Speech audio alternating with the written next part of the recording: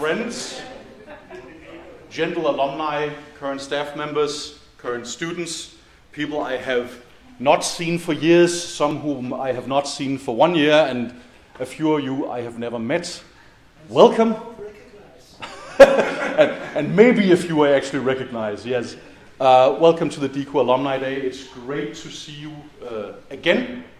Um, my name is Jakob Simonsen. I'm the head of DIKU at the moment. Uh, my time you, with you today will be fairly brief. I'm going to talk for 15 minutes and uh, then we'll get to the real meat of the matter, uh, which is a lot of talks, both from externals uh, and internals here at DIKU, uh, with all of the cool things we're doing. So the plan for today, um, before the food, that, that, that's the bottom thing, right? Um, before the food, we have lots of reports about current research um, and, and other things that occupy us here. For the first quarter of an hour, I'll try to give you an overview of the state of affairs, uh, and then we'll move on to uh, the people who actually create value, uh, namely Serge, Boris, Carsten, Barry, and, and Valkyrie, uh, and Joanna, uh, of course. And, and I think, Joanna, you will be the last person to speak today. So when Joanna is done, you basically just go out and eat and drink and have fun. But not before. But not before. not before Joanna's done. That's very, very important. Um, so it falls to me to give an overview of, of affairs. But first, some practical information. Toilets can be found in the basement hall just in front of the mosaics at Auditorium 1. Auditorium 1 is that way, quite a bit that way, actually. And then to the basement, uh, and then for the toilets. If some of you are really uh, creative, you might be able to break into the math department. They have toilets right over there, but, but I wouldn't recommend it. Uh, um, so the outer entrance door to this entire building complex uh, remains closed. If you need to go outside for any reason, remember to get an entrance card. I think Tina is out there uh, and can hand them out. Ask somebody, ask somebody to help you get in. We are of course friendly with all of our, of our alumni, and our alumni are all friendly with each other. So ask anyone, and, and Hopefully they'll let you in. Um, ask Inge for help. Inge, please raise your hand. Inge is the mastermind of the Alumni Day. She'll be here all evening, and she'll be right here at the center of the front row in case you need her. Uh, the reception is a self-service buffet with seating at tables. Um, we have reserved some tables with signs indicating uh, various spans of years for alumni. Most of them are open to all, of course, but we indicated a few where, uh, where people might want to gather, especially very recent alumni uh, and not quite so recent alumni.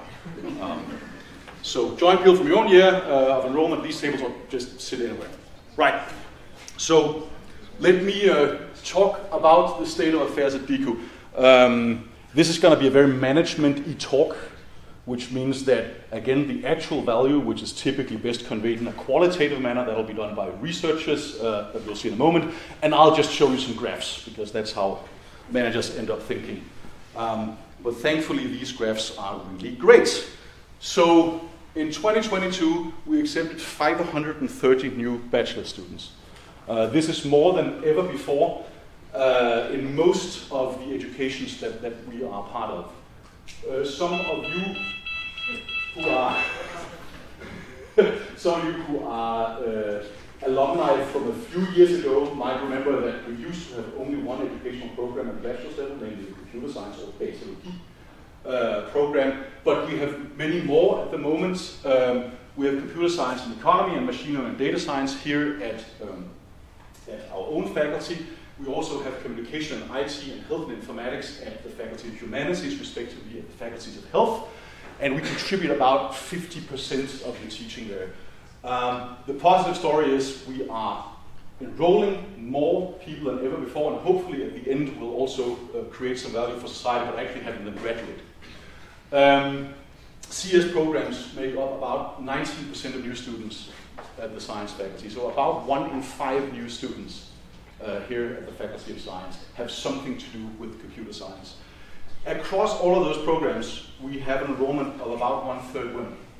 So this is more than before. Um, but we are still trying to improve that, especially for our program in computer science, where we've been trying to push that number uh, above 20%. And we still have a lot to learn. For instance, in machine learning and data science, we actually had a slight decrease in the number of women. We think this is because we are not marketing that educational program right, so we're going to look into that uh, in the following years. Um, so those are the people who go in, right? But we also have some people who graduate. And, and, the horrible thing about using words like production and so on is that we tend to think of ourselves as a sausage factory. that's not the way to think about people. Um, so, uh, in terms of the way that, that the faculty of science, you know, the terms they use is like production. But, but trust me, we don't view current students or alumni as sausages. We do view you as people. So the relevant uh, graph is over here, uh, the rightmost one. So the purple, dark blue, purple, purple, yeah. I'm colorblind. This is, this is not easy, okay? the, the, the purple uh, vertical bar here is, uh, is computer science. So basically, the bachelor's degree in datalogy, as we call it in Danish. Um, and the other bands are the educations that we contribute to. Um, and as you can see, at least, we still have quite some growth in the computer science area with, with uh, the bachelor's thesis that, uh, or bachelor students graduate. Um, we also have a very steady number of people graduating from communication and IT, and we have a, a, a bit of some, some wobble uh, in some of the others, but we're looking into that in order to improve it. There's lots and lots of educational programs in IT in general and computer science specifically in the Copenhagen area, but we hope to be able to increase this number uh, to to get more people into society uh, who knows about computer science. We also hope to actually get the funding um, and for the master's level, or cand.scient. Datalogi in Danish, uh, it is a similar but, but spectacularly more impressive story at the moment. We are producing more, uh, more masters or, or candidates than, than ever before. And this is mostly across the spectrum, a bit, again, with a bit of a wobble in some of the smaller educational programs we're contributing to. We know that our graduates are wanted, so we try to create more of them. That also creates more alumni, so that's a hopefully a, a great thing also for you. Um,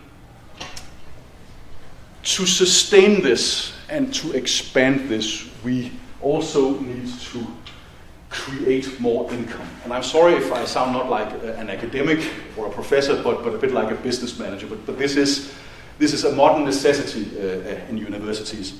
So um, this is the roughly the DIKU financial status over the last couple of years. The, the rightmost thing is 2022, our estimate for what's going to happen this year. And the sort of penultimate rightmost thing here uh, is what happened in the fiscal year 2021.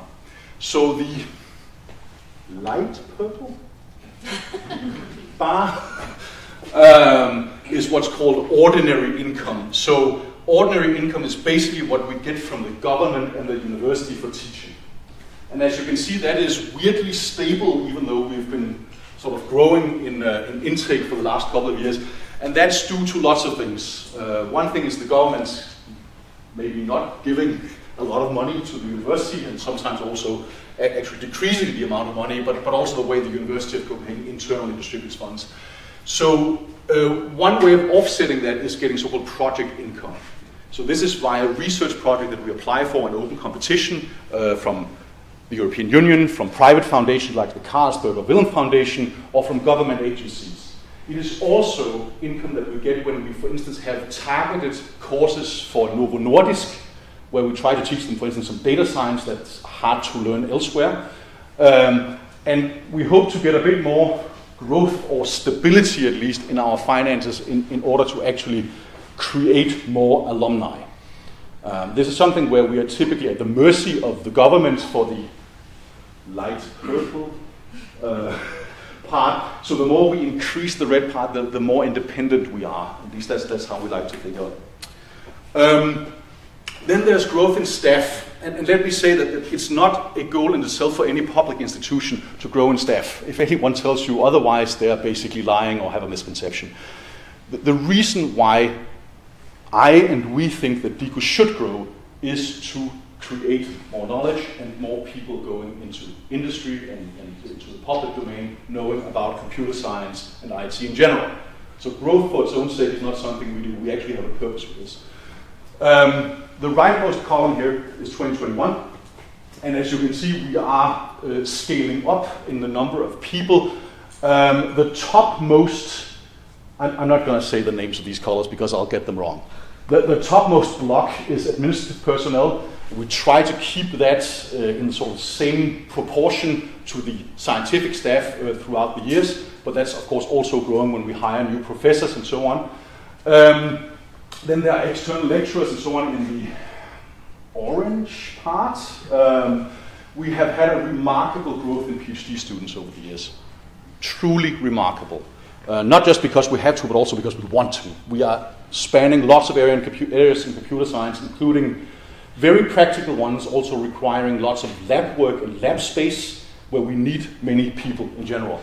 Uh, and we are scaling up at all three levels of academic seniority from assistant to associate and to full professors. Um, so, in case you are not completely familiar with it, assistant and associate professors are what's called adjunct and lector in Danish. So, we are still growing um, and we hope to, uh, to do that in general. Um, I'll be done with the growth graphs in a moment. I, I just very much like them because they're increasing. Um, so there's this, this thing called STOKE with the wonderful Danish letter O. Uh, so this is essentially one year of full-time study work for one student. So the way I like to think of this is that, that uh, for, if we take all of this, so the entire thing, including the mustard yellow uh, and kind of black but not really uh, bar up there, is that, that we are creating around 1,100 of these student years. The way I like to think of it is that we have one student, not many students, one student, and in time compression, we are actually teaching that student for more than a thousand years every year. um, tr- trust me, the metaphor gets funnier and funnier the way you think about it. But the point is, this is also increasing. And this is, of course, a function of intake in students. Um, but, but also, I, I'd like to think of student diligence. They are actually working, it's not just us teaching. Right, so some various initiatives that we are uh, keen on at the moment and that we are involved in. Uh, we are part of a national research uh, center called DIREC, um, funded by the Innovation Foundation uh, in computer science, with basically every uh, computer science department in Denmark. So for those of you who've been here a really long time or graduated a long time ago, you might remember some rivalry between East and Western Denmark. That still happens. But we also like to collaborate with them. So this is, this is a great thing. Um, we also, together with more, uh, several other universities, have a Pioneer Center for Artificial Intelligence. You're going to meet Serge later on, um, and we'll talk about, I think, a specific within the, within the Pioneer Center. This is a wonderful initiative also spanning uh, computer science in Denmark. We have the Digital Tech Summit coming up, again with all of the other universities and a host of um, various companies in Bella Center uh, in October 25 and 26. Uh, this is a great event with lots of talks both from industry and, and from uh, the sciences, and I think there's still tickets that can be bought. In case you are interested, talk to Anders, whom I'll introduce a bit later. Um, we also have business collaboration innovation projects. You're going to meet the team in a moment. They are the ones actually also sort of arranging the alumni, alumni day. So uh, they're a great bunch of people. Um, and we are currently involved in scaling up teaching computer science to other studies, other departments. The Department of Plant Sciences, uh, the Department of Food Sciences. Um, and this needs to be done in order to, to get digitalization out there, at least in the way that, that we think of digitalization. Um, and we also do the research in tomorrow's technologies. Actually, can we say the day after tomorrow, because that, that's a bit further ahead, right? And you'll hear lots about that in a moment from some of our great researchers. Um, and another thing we are interested in is, that, is the diversity agenda, uh, broadly construed from, from not just from the point of view of, of gender, but, but diversity in general. which has been the subject of multiple projects at DIKU at the moment, and we're also going to hear Carsten Lassen from Specialisterne on Neurodiversity a bit later today. Um, we've been a bit in the news, let me just do this a little bit more slowly. Uh, we've been a bit in the news. Um, we try to communicate our research, and we also try to make sure that everyone knows we're actually creating value. It's probably easy for you as alumni, as students, because you're kind of in it already, and you see the value of both basic and applied research. But again, in the modern political world, especially here in Denmark, it's important to communicate the great things we do. Um, so we had plenty of stories in the news. Uh, for instance, this is not necessarily a positive story, but the uh, so our computers are sexist towards uh, both female and male uh, politicians. Um, but, but the positive thing is that we can actually quantify this using, for instance, techniques from, from natural language processing. Um, we are opening a new education together with the physics and math department here and the Technical University of Denmark on quantum information science, um, which is going to fly hopefully uh, in the summer of next year. Um, we are looking at many things, bias and so on is, is really popular in the media at the moment. So taking some of the foundational work we do in machine learning and then applying it to cases that are of societal importance is awesome. And it's also something that, that the general public is interested in. And we have lots and lots and lots of other stories. Here's a, here's a small selection of them from various uh, places at DIKU on many different perspectives showcasing that we're not just uh, only communicating things that, that are sort of immediate importance to politicians and so on. We actually try to cover as much of the breadth of DIKU as we can when communicating uh, with the news. And I think that is more or less the current state. So you saw lots of graphs with things improving. Um, this is necessary not just for us, but also for the rest of society. And it's a wonderful story. I, I, hope we can keep doing that. We'll work for it anyway. Now, I've spoken enough, but I'm, I actually have one more thing to say. Um, one of the things we've done in recent years, actually during Corona, was to create a specific section, like a little organizational unit within DIKU uh, for business collaboration and innovation. Um, and we have uh, Anders Pall who is this, this uh, younger, more cheerful, more handsome version of, of me with the same, same, um, same aesthetics for beard and hair, and so on, just, just a lot better. Um, uh, as the head of it, and, and, he has built a team of, of three full-time employees working in various aspects of, of DIKU's collaboration outside, not just the DIKU Business Club, but also uh, running part of the Science uh, AI Center, uh, doing innovation projects and collaborating on research with industry, and also, very importantly, the Alumnus Association. So, so you guys, they're also in charge of it. Um, if you meet any of these people today, just give them a hand because they're the ones that they take care of you and take care of everything tonight. But I will uh, leave it to Anders, who before he worked here has worked in lots of places, including Copenhagen FinTech, the Technical University, and so on, and is an industry veteran an all-round cool guy. Anders will actually introduce our speakers and he will also moderate any discussions and questions you might have. Uh, so please treat him well. In case you need me, I'll be right there next to Inge uh, and I'll be talking to you uh, outside after 7 o'clock. So please give Anders a hand. Take it away, Anders.